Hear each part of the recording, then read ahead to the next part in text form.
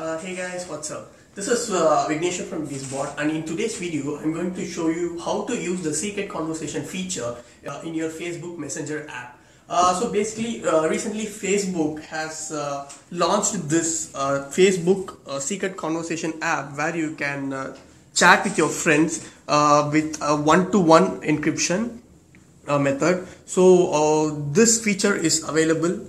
So this feature is available on both Android and iOS as well. So all you need to do is just go to the Messenger app and open the conversation by you to whom you want to chat. And as you can see here, the I symbol on the right top of the display, just click on it or, or tap and uh, scroll down uh, where you can see the secret conversation option here so just tap on the secret con secret conversation feature on this app um, so basically the main thing about this secret conversation feature is that it works only in one device. Uh, that means you can use it only on your mobile or, or in your lap on your tablet or on your laptop. So it doesn't have a facility to spread out as well uh, according to the company.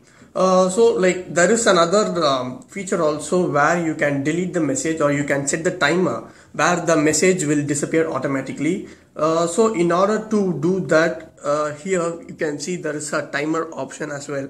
So just uh, tap on the timer and it will show you uh, the timing. It will show you the seconds. It starts from 5 seconds and uh, to one day. It starts from 5 seconds to one day. So you can choose whatever you want. If you want 5 seconds or if you need that message for one day you can choose it as well. And uh, so I have selected the file so I have selected uh, 10 seconds now. Uh, so after 10 seconds this message will be deleted. Uh, also in order to use this app the other side of the other side of your uh, friend to whom you are chatting he also need to accept the invitation to chat in the secret conversation. So this is what and uh, this is one of the uh, most secured way to uh, send your message or share your uh, personals with your uh, dear and loved ones. Uh, stay tuned to Gizbot for more such videos. This is Vignesh signing off